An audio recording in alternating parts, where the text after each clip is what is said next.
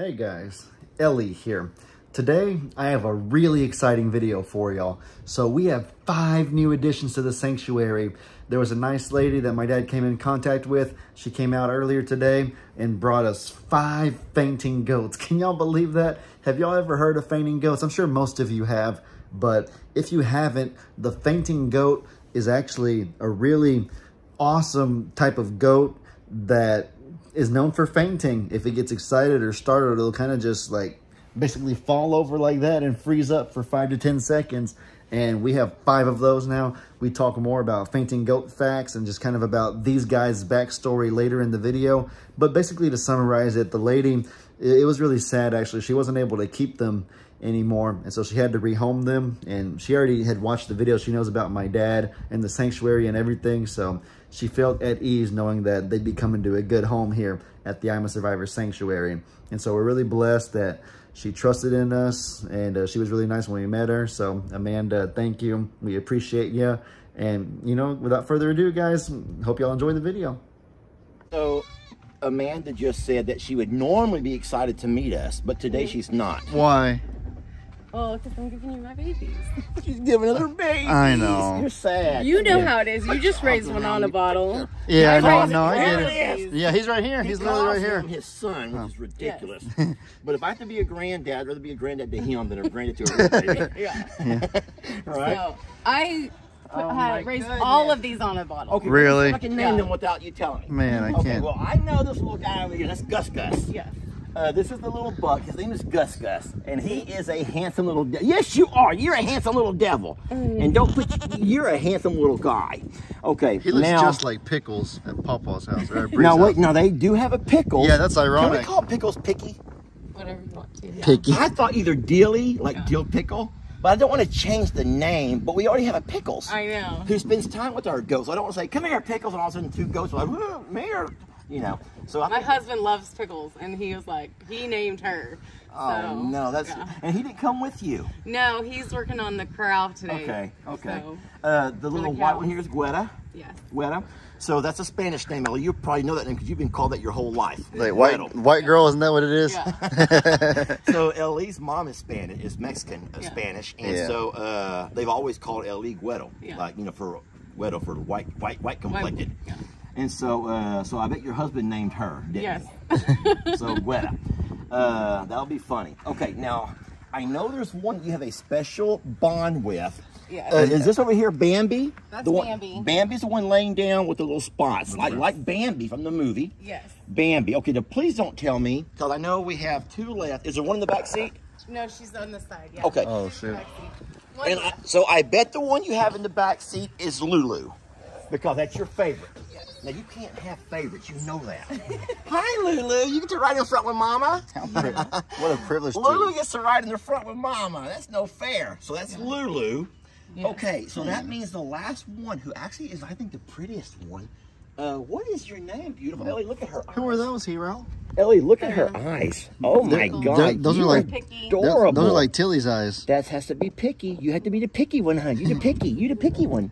Wait, You're so gorgeous. if, if Gus Gus is the only boy, that means Pickles is a girl. So D- Dill, Dilly kind of is a good name for a girl, I yeah, think. but Dilly's a whole other name besides picky. It's kind of like Di- still pig. What about what about Dill Pickle? Or you know, something? all I hear is wah wah wah. wah. we think that these names are such a huge thing, but Yeah. All of them have like the blue marbled eyes except for Bambi. oh, they're gorgeous. who has the most personality of these five? You the already group? know it's gonna be that Gus Gus right there because of those things hanging between his legs. It's gonna Oh, yeah. give him all kinds of personality. So Is it- Bambi can be called Bam Bam sometimes because she Oh. likes to be pushing around. oh, We've had, okay. we've, had, we've had a Bam Bam before I, too. think Lulu has the best. Why are you so attached to Lulu? What makes it? She was just very small when I got her, and Uh-huh. so she would Oh, lean her the head on baby, me. baby. And, Come yeah. here, sweetie. Oh my goodness.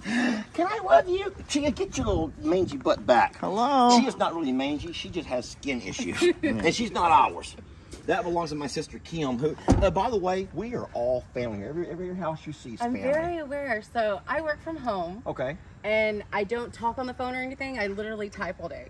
So Which I you watch videos all day. so it means I watch videos. So I, I hope your follow boss isn't everybody. watching this. No, so I watch everybody. So I like know that everybody lives on the hill and Well, that's. Sister Kim's little, I call it little mangy mutt. But she's not a mangy mutt. Kim loves her. and But here's the problem. Kim loves her, but she loves L.E. so everywhere he goes, Chia follows, and she has since she was just a little puppy. Yeah. And so she thinks she lives here, and she doesn't. And I'm thinking, L.E., that dog, huh? but look here over here. Hi, Luna. What do you think, sweetie? She's like, I don't know. These are some strange smells around She here. I don't wagging her tail? understand The smells. she is. I don't know all these smells. I don't know these. Come here. Mm, oh, I love her. You're the cutest thing. You're the cutest sweet. thing. Baby, you're going to love it here. You are going to love it here. Her and Pickles or what, whatever y'all picky. You can call her Pickles. We ain't going to make you change No, Pickles. They are bonded like together. Not like a, Uh-oh. Uh-oh. That's a good little, I guess, taste of what's to come. Hero's a good warm-up, if you will. like wherever she is, Yeah. usually Pickles is. Oh. Well, let's let them out. Maybe maybe these two can be the front yard crew and those can be the pasture goats. No. Well, no, if, All stay together. well, if Lulu, I'm all wrapped up. girl. well, if Lulu has a special spot in her heart and Lulu's gets a little bit of different treatment, why can't she be like Hero? A little bit. So I use this for my Nubians if I'm transporting them. And one time, the thing came open, Oh. and so that's why I had to kind of start wrapping it don't up. blame you. Hi, babies. Y'all want to come out? Come on, You've been in there for a long ride. Come on out and play. I'll, I'll help. I'll help you down. come on. Hi, sweetie. Oh gosh, what happens when Gus Gus meets Ringo? Hi, my friend. Ringo's not going to be a problem because he's been neutered Yeah. a long time ago. Hey, oh my goodness. Don't mm. faint on me Yeah, now. Ring, Don't Ringo's old, but he still thinks he's in Don't charge. dare Where you faint on me going? I don't know. I'll be so sad. Where are you going, Lulu? Lulu. Don't you faint on me because I'll make me feel so sad. Aunt Lou would be flattered. Come here, Mama. Come on, sweetie. Come on, babies. Come on, babies. No, here comes Ringo. Oh, I told you this. Oh my goodness, he's so precious. What have y'all brought me? Oh, Ringo thinks it's for him. I suppose he can share, but I don't know about all that. Ringo could care less. He just wants to eat. He's hungry. He's like, Yeah, Ringo just wants to eat. He cares less about the new the new coats. That's very comforting for us as far as protection. It means if there's ever somebody in here that shouldn't be, Ringo's just going to go for the food and let them do whatever they want. Goodness. they're so tiny. Yes, they are. Dad, look behind you. Look who's curious. Oh boy. hey, sweetie, you're not coming in. That's Senorita, our new horse. Have you heard her? She's like, who's that? I want to meet him. She's mean to me. She's better with the ladies, Yeah. huh? It's, it's just you. It's just me. She's just She's young. just They're- like- when they're young, they're always a little ornery. well, just this morning, I'm loving on her. All she goes. And what does that tell you? She wants to. Yeah. Yeah, back up and kick me. Is what you're going to do. Guys, are y'all hearing this, guys? These fainting goats like are crazy desperate for attention. I was just in there with them. Every time I walk out, they start screaming like crazy. Y'all notice how they have a higher pitched, almost like a squeak that they make. Especially that one, Lulu. She has the craziest one. Bambi's is pretty high pitched. Listen to hers though. Lulu! Come on, Lulu, just do it once for me. Oh, y'all heard it. Lulu!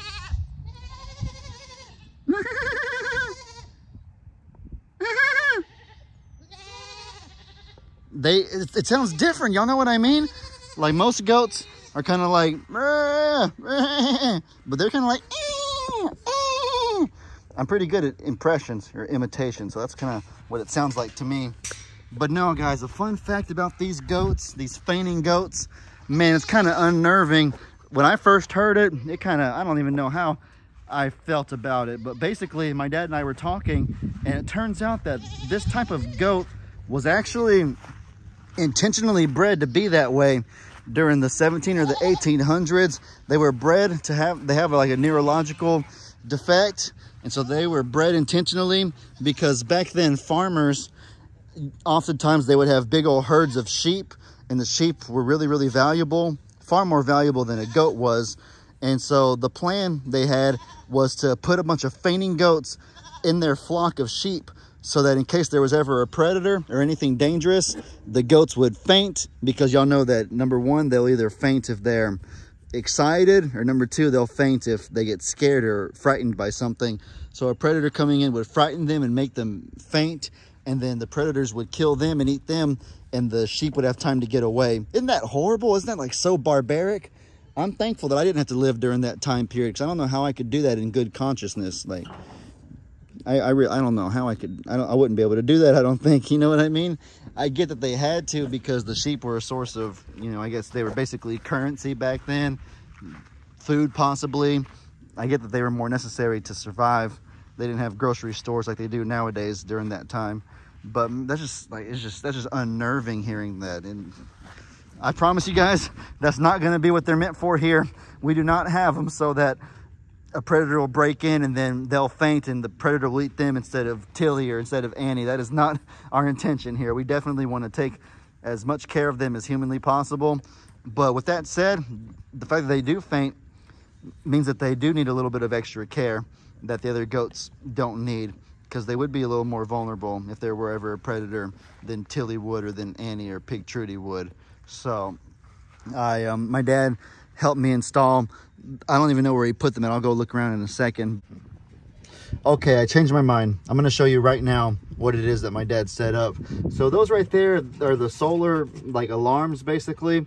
And what happens is if a predator walks near it, it plays like a really like I guess uncomfortable frequency, a little bit of a sound that is like traumatizing for the animal and will make them run away and hopefully not come back. They say you got to change the frequency every few days because if the animal does come back, it will eventually get used to the noise. It'll get desensitized to it. The noise won't bother them anymore. So you got to always be changing the frequency so that there's a noise that'll always be bothering them so they hopefully don't come back. And it's a good idea. These fainting goats, they'll need extra protection because if there ever were a predator, then they'd probably faint and they'd be toast. And we do not want that to happen. We want to like protect them with our lives basically. So right there is a good idea. I see one right there he set up and then there's another one right there. Let me walk over to that one just to give y'all a quick demonstration of, oh, y'all hear it? Y'all hear the frequency? Sorry if there's any dogs watching. If you watch with your dogs, uh, oh gosh, I'm sure people's dogs that are watching the video with them are freaking out right now. I'm so sorry. I apologize dearly. But y'all heard it right there. I think y'all heard the noise, right? Y'all heard the Let me walk closer to it one more time. One more time. Come on, do it. All right. All dogs watching, close your, shut your ears for a second. I'm going to walk over to this next one just to kind of see how it sounds. Here we go.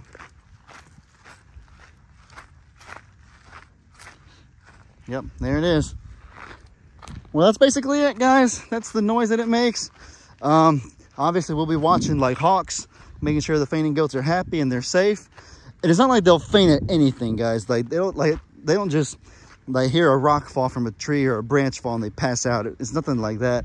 That's kind of what I expected when they first came, but uh, Amanda, the lady who brought them to us, she kind of explained that it takes something a little bit significant for them to faint and just won't, they won't just do it for nothing. You know what I mean? And so we'll see. They're, um, they're great additions. I'm very excited to have more funny videos of them. I wish they could have fainted a little bit more or done more funny stuff. In this video, I need to actually explain that. Guys, the fainting that they do, I don't want y'all to think that we're like cruel or terrible people because it's funny when they faint. Like, don't equate it to when a human faints. When a human faints, they um, obviously are unconscious. It's like they're going to sleep and sometimes it can be dangerous. So like it is a little bit different than that. But these goats, when they faint, they don't lose consciousness. They just kind of, they go stiff. That's how Amanda described it. I kind of picture it as temporarily paralyzed and like paralyzed for five for five seconds or 10 seconds or something like that. And a, way you can kind of think of it is that picture a little kid on stage, like doing a performance or something. Picture a kid that gets nervous because he sees like a thousand people in the audience staring right at him and he kind of gets stage fright. He gets scared and like freezes up. He forgets his lines and he pees his pants or whatever. It's kind of funny a little bit, isn't it? You know what I mean? Like, not, it's a little bit funny. A little funnier than somebody passing out. So I equate it more to like stage fright. And so yeah, the stage fright is kind of, I guess, a little, little bit funny to see, but I didn't capture any of that in this first video. I apologize for that. I guess it's also the heat of the day, so they're about to go huddle up in the shade.